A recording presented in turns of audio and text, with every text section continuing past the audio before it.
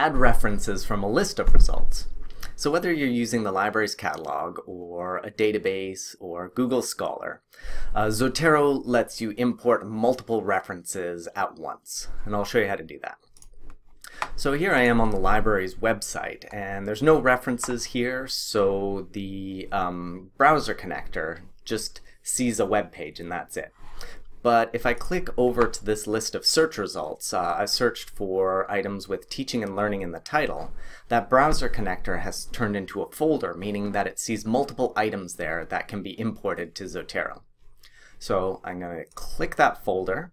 This screen appears which lets me choose the results from this page that I want to import into Zotero. So I select the ones I want, I click OK, and then it imports those items over to Zotero. So here I have four items.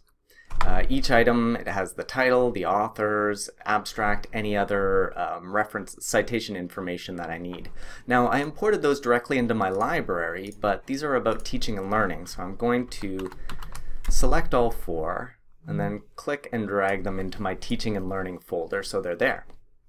To speed this process up, Zotero imports new site uh, references into whatever folder was clicked on last. So I'm going to click on the video games folder because over in my browser I have a set of ProQuest results that have video games in the title. So now when I click on that folder and I import these three items, they are going to go directly into the video games folder. And here they are. You'll see that each item has its own icon to indicate whether it's uh, an article, a newspaper article, a book. All right, one more for Google Scholar. So Google Scholar, I searched for serious games. So in Zotero, I selected the serious games subcollection.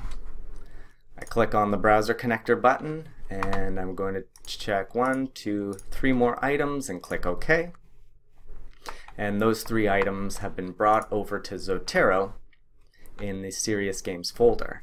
Now, whenever Zotero is able to, it is going to pull the full text of the article um, as a PDF attachment to the reference. Alright, so that is how to add multiple references from a list of results into Zotero.